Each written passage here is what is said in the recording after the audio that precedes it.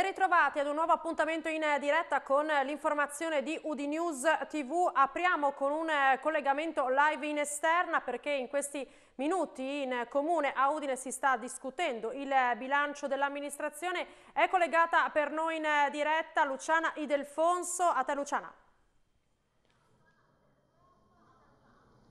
Sì, grazie Valentina, buongiorno a te ai nostri telespettatori. Hai detto bene, ci troviamo in comune a Udine dove da poco è iniziato il Consiglio Comunale. Tanti punti all'ordine del giorno a partire da alcune interrogazioni proposte da Bertossi, ma prima ancora di un minuto di raccoglimento fatto dall'intera giunta in ricordo di Giuseppe Zamberletti, recentemente scomparso e papà della protezione civile. Tra gli ordini del punto anche lo stadio Friuli, alcune procedure amministrative relative proprio allo stadio che è proprio in discussione in questo momento in seguito a un'interpellanza posta dal consigliere Liano a cui sta rispondendo l'assessore Pizzocaro. Non è tutto qui, però si parlerà molto di bilancio in sala, è prevista bagarra soprattutto per quanto riguarda l'aumento dei rifiuti nella città di Udine. Allora abbiamo fatto il punto sulla questione ma anche sugli altri elementi importanti all'interno del bilancio con l'assessore direttore Francesca Laudicina. Sentiamola. È da poco cominciato il Consiglio Comunale qui a Udine, siamo in compagnia dell'assessore al bilancio Francesca Laudicina proprio per parlare di questo punto che probabilmente animerà a lungo questa seduta. Quali punti salienti? Allora, i punti salienti della seduta, eh, innanzitutto prima di approvare il bilancio di previsione, il documento unico di programmazione, ci sarà sicuramente uno scontro sulle, dato che è necessario approvare le tariffe, immagino che ci sarà comunque un confronto animato su, su, più che altro eh, sulla Tari, che è appunto l'imposta che riguarda la tariffa, che riguarda i rifiuti, perché comunque eh, diciamo che dal punto di vista dell'addizionale IRPEF eh, Udine ha mantenuto inalterata l'aliquota la, allo 0,2 malgrado la legge finanziaria permettesse ai comuni di eh, comunque utilizzare la leva fiscale, ha deciso di non utilizzarla e ha mantenuto inalterata, anzi se non addirittura ridotta per una particolare eh, categoria e an anzi per due particolari categorie la l'IMU. Abbiamo ridotto l'IMU per eh, i capannoni industriali sfitti, cioè tutti gli immobili di categoria D perché ci rendiamo conto che comunque eh, un, un, immobile di questo tipo anche per un, un utilizzo eh, diverso eh, comporta degli investimenti notevoli e quindi sono sicuramente tra le categorie i, i proprietari di questo tipo di immobili più, più svantaggiate e quindi questa l'abbiamo abbattuta di un punto. E poi abbiamo allineato l'aliquota IMAU comunque diminuendola eh, riguarda le pertinenze per, eh, diciamo, de, de, di quegli immobili che vengono dati in comodato da un genitore a un figlio, quindi abbiamo allineato l'aliquota in modo che anche diventi più semplice fare i pagamenti, fare i versamenti. Abbiamo azzerato del tutto la Tasi per gli immobili cosiddetti di lusso, ma eh, Contemporaneamente abbiamo incrementato l'IMU per questo tipo di immobili, però abbiamo, abbiamo, facilitato diciamo, il contribuente perché invece che versare due F24 diversi verso un'unica imposta con un unico F24, quindi diventa anche molto più, più semplice. Dal punto di vista della Tari ritengo appunto che oggi ci sarà un po' di discussione perché comunque la Tari eh, ha subito un piccolissimo incremento, cioè un 4% medio di incremento, però ovviamente era da anni che rimaneva sempre ferma però purtroppo cioè, non è una scelta, diciamo, è stata una scelta dovuta al fatto che comunque è il, è increment, si è incrementato di tanto il costo del conferimento in discarica e quindi naturalmente visto che la tariffa deve coprire il costo integrale al 100% c'è stato un, un aumento appunto del 4% che però posso dire che per un immobile di 100 metri quadri abitato da tre persone significa che praticamente la tariffa si incrementerà in, in, di circa 7 euro, 7-8 euro. C'è qualche altro punto sul bilancio che merita una nota secondo lei? Ma secondo me eh, la nota, un'altra nota, diciamo una nota buona, diciamo, riguarda gli investimenti. C'è stata una, vista anche la possibilità, diciamo dal punto di vista appunto, normativo, di eh, poter eh, incrementare non il debito ma di applicare l'avanzo, c'è stata la possibilità quindi di eh, ampliare lo spread degli investimenti e quindi naturalmente il piano delle opere pubbliche per il 2019 2019, chiaramente comprende per una questione anche di corretta amministrazione opere che sono eh, state iniziate dall'amministrazione precedente ma che comunque che sono eh, diciamo in linea con le linee di mandato del, del, nuovo sindaco, più tutta una serie di opere nuove che riguardano eh, l'edilizia scolastica, ehm, moltissimi diciamo, investimenti dal punto di vista del miglioramento per la sicurezza del pedone, della viabilità, eh, marciapiedi, buche e, e, cose di questo genere.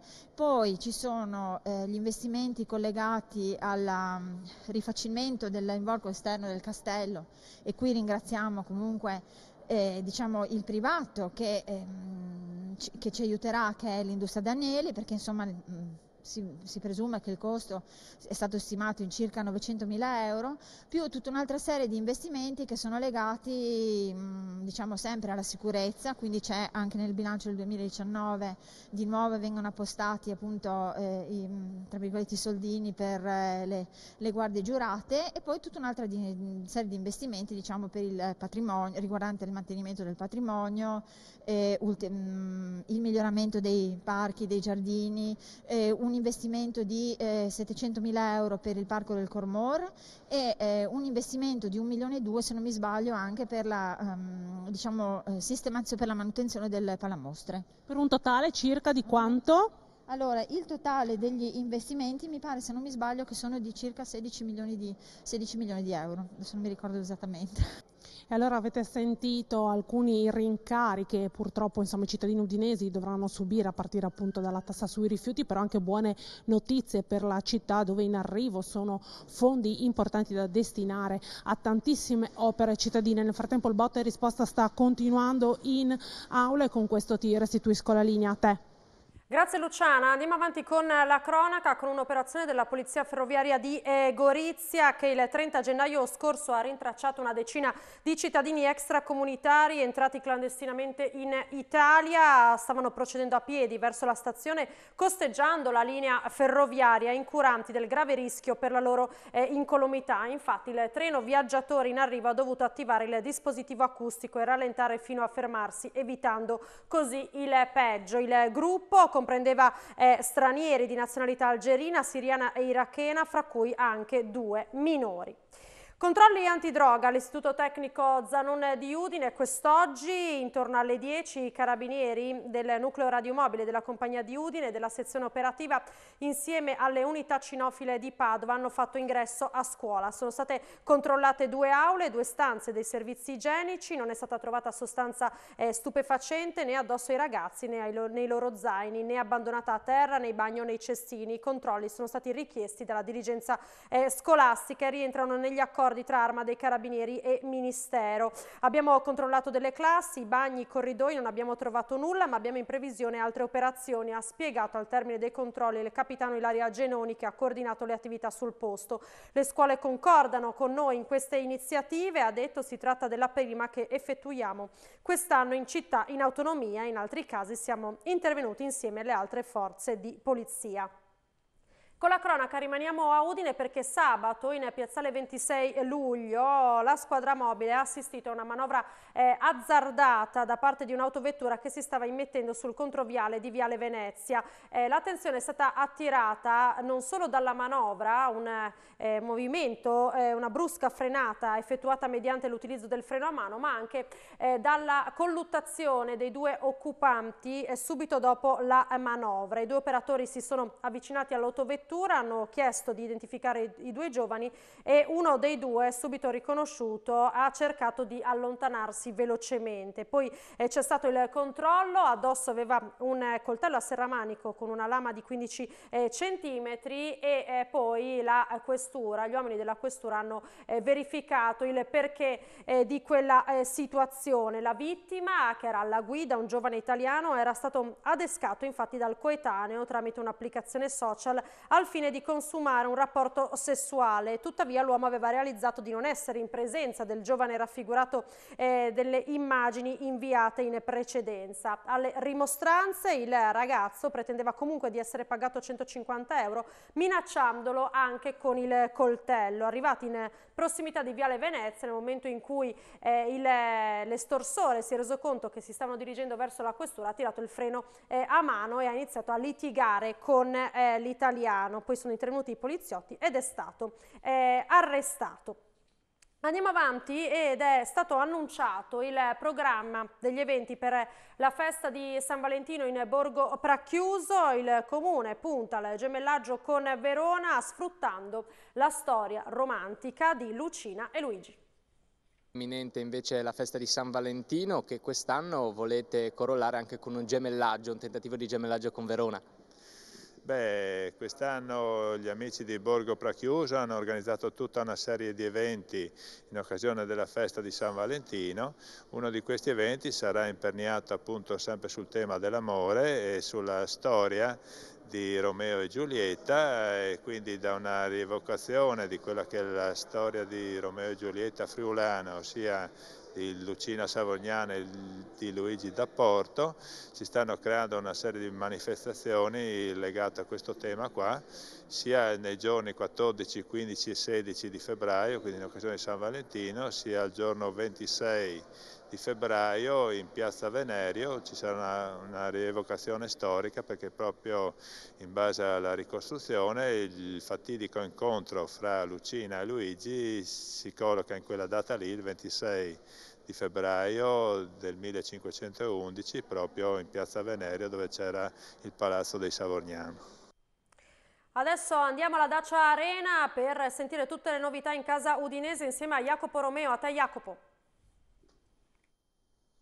Sì, buon pomeriggio, buon pomeriggio a te. Giornata di riposo per l'Udinese quest'oggi, dopo il pareggio contro la Fiorentina. Un pareggio che magari non ha mosso tantissimo la classifica, ma era importante tornare a fare almeno un punto dopo due eh, sconfitte consecutive e soprattutto dimostrare di essersi eh, ripresi e comportarsi, come aveva chiesto anche Nicola alla vigilia, da squadra vera dopo il 4-0 di Genova. Ebbene, sotto questo aspetto l'Udinese ha pienamente centrato l'obiettivo, anzi addirittura va, è tornato tornata eh, a casa dopo il match di ieri con un pizzico di rimpianto perché eh, forse i punti avrebbe meritato qualcosa in più della, della, Fiorentina nonostante alcuni interventi importanti, decisivi di Musso, penso per esempio al tiro di De Paul, penso alle due occasioni per Pussetto, ma al netto di questo è un risultato che è buono soprattutto per il morale e per la consapevolezza della squadra. Dopo un 4-0 magari potenzialmente duro a digerire, eh, c'è stata la ripresa, la ripresa è arrivata, è arrivata anche nel, nel gioco e soprattutto nella prestazione che è stata nuovamente molto solida, infatti la Fiorentina ha colpito soltanto con un tiro eh, dalla distanza, si è dovuta accontentare di quello per rimettere in piedi la partita. E soprattutto eh, la gara giocata contro i Viola deve essere un modo per far sì che i giocatori capiscano, questo gruppo capisca e metabolizzi il fatto di poter mettere in difficoltà anche formazioni sulla carta più quotate e questo è un fattore molto importante per risalire la classifica e soprattutto per avvicinarsi ad un'altra gara complicata che mette di fronte il calendario perché scusami, domenica prossima si andrà a giocare contro il Torino in trasferta e anche lì bisognerà continuare a dimostrare che il trend eh, è positivo, mettere in campo quella voglia, quella prestazione che contro la Fiorentina hanno portato i ragazzi di Nicola a fornire davvero una bella prova. Da domani si inizierà a lavorare in tal senso per preparare la gara dello Stadio Olimpico di Torino con l'allenamento al pomeriggio, dopodiché nella giornata di mercoledì doppia seduta, nell'allenamento di domani ovviamente mancherà ancora Kevin Lasagna impegnato nello stage a Coverciano con la nazionale, stage che è iniziato già da quest'oggi e che vede coinvolto l'attaccante bianconero che da questa esperienza in azzurro potrà trarre nuova eh, linfa per mettersi alle spalle il problema della, alla spalla accusato nelle scorse settimane e soprattutto per mettere a disposizione tutte quelle che sono le qualità che tanto apprezza il commissario tecnico Mancini anche nella quotidianità per Davide Nicola e per Udinese. A te. Grazie Jacopo, fra pochissimo apriremo una finestra sul Festival di Sanremo, un appuntamento quotidiano che ci terrà compagnia durante questi eh, giorni, ma prima di fermarci a cogliere il nostro ospite Giampaolo eh, Polesini, diamo uno sguardo a quello che è successo in Italia e nel mondo. Almeno sette persone sono rimaste uccise ed altre nove ferite nell'esplosione di una potente autobomba a Mogadiscio in Somalia vicino a un centro commerciale. Nessuna rivendicazione ma la modalità dell'attentato fa pensare che sia opera del gruppo di estremisti islamici Al-Shabaab. Francia, Spagna, Gran Bretagna, Svezia, Austria, Germania e Olanda riconoscono Juan Guaidó come presidente ad interim del Venezuela perché indica elezioni presidenziali. Per Mosca invece riconoscere Guaidó è un'intromissione negli affari interni del paese. I progetti per le schede e le buste sarebbero già prenotati, le tipografie sono allertate, il Ministero dell'Interno è al lavoro. In segreto Macron ha preparato la sua risposta all'offensiva dei gilet gialli, un referendum nazionale il 26 maggio, lo stesso giorno delle europee. Secondo fonti vicine al capo dello Stato, citate da Le Journal du Dimanche, Macron è deciso, a metà marzo si concluderà l'iter del grande dibattito nazionale da lui voluto. Due mesi dopo i francesi si pronunceranno su temi come il funzionamento delle istituzioni, il numero dei parlamentari, la partecipazione popolare alla vita politica, il diritto di indire referendum e di iniziativa popolare. Ci fermiamo solo qualche istante ma torniamo fra pochissimo per il nuovo appuntamento dedicato al Festival di Sanremo insieme a Giampaolo Polesini. A tra pochissimo.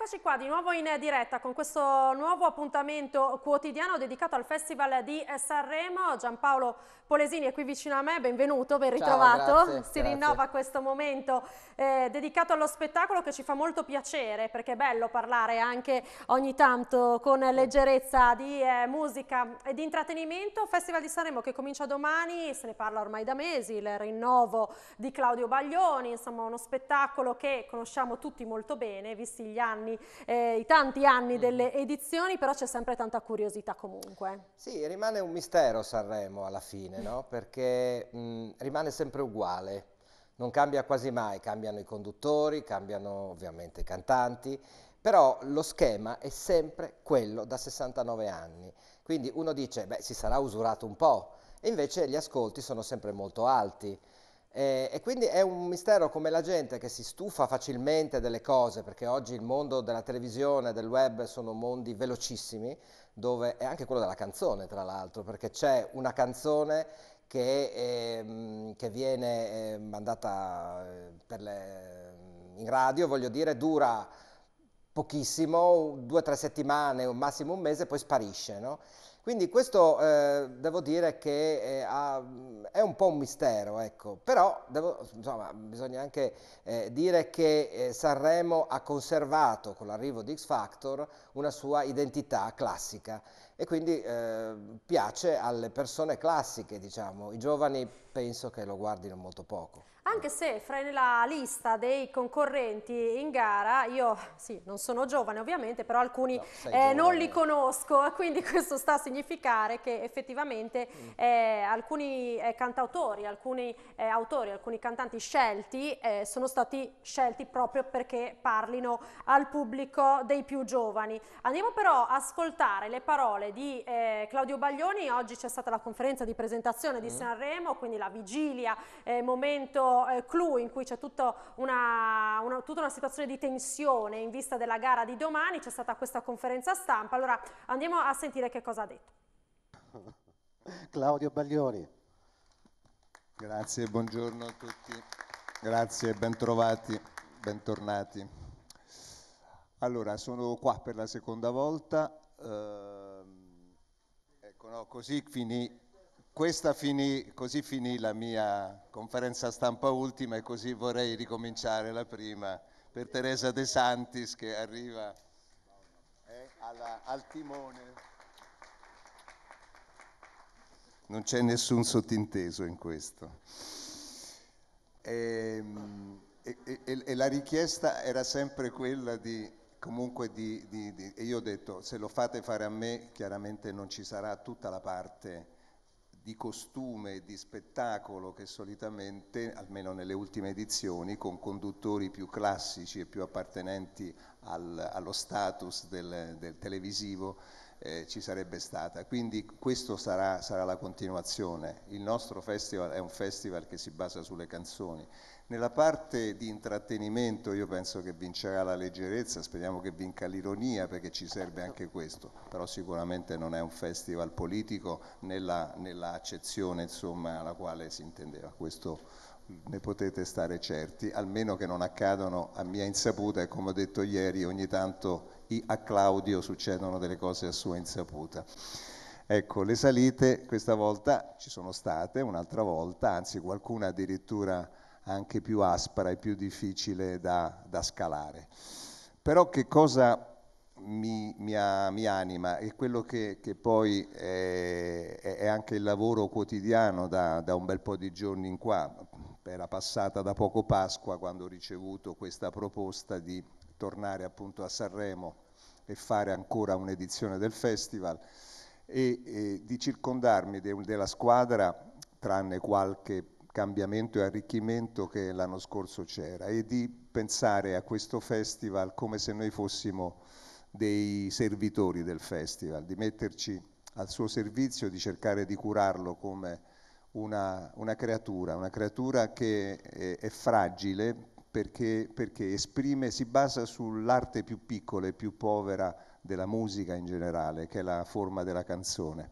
Però il, la stella polare è sempre stata quella che già è contenuta nel, nello statuto. Io che sono fedele alla Costituzione di Sanremo continuerò a pensare che questo è il festival della canzone italiana. E in tutto questo credo che questo primo articolo sia raccolto tutto il lavoro che stiamo facendo. Ecco, dai ritmi di Baglioni già si capisce come sarà questo Sanremo. No, parlare, di, parlare di povertà mi sembra un po' fuori luogo visto che uno dei veri motivi per cui si fa Sanremo è proprio i soldi. È, è, brutto da dire, ma sì, sono una investimenti... Econo so... solamente economica, solo beh, per so... il vile denaro. Insomma, c'è un investimento abbastanza alto, da quanto si legge, eh. poi non credo che la RAI faccia le cose per perdere, 17 milioni di euro e un possibile incasso di 26, quindi insomma tutto torna alla fine. Ecco, quindi. quindi. una questione economica sicuramente, un investimento da parte della RAI, ma anche questa retorica della canzone italiana che continua a eh, perpetuarsi. Abbiamo visto anche insomma, nella lista dei cantanti ci sono eh, dei cantanti molto tradizionali che tutti conoscono, Patti Bravo, Anna Tatangelo, eh, Nino D'Angelo, Il Volo, Loredana Bertè, quindi insomma eh, cantanti eh, tradizionali perché cantano in maniera tradizionale come Il Volo, ma anche eh, cantanti che appartengono anche a qualche generazione passata. E poi invece qualcuno un po' più sperimentale sì, e anche sì ci, molti giovani. Ci sono parecchi giovani, questo bisogna dargliene atto a, a Baglioni. Il punto è che ormai è, tutto viene triturato in un girmi eh, mediatico quasi immediatamente, nel senso che poi alla fine eh, del, del, festival tutti cantano le canzoni di Sanremo per una settimana, dieci giorni massimo, poi cominciano un po' le radio,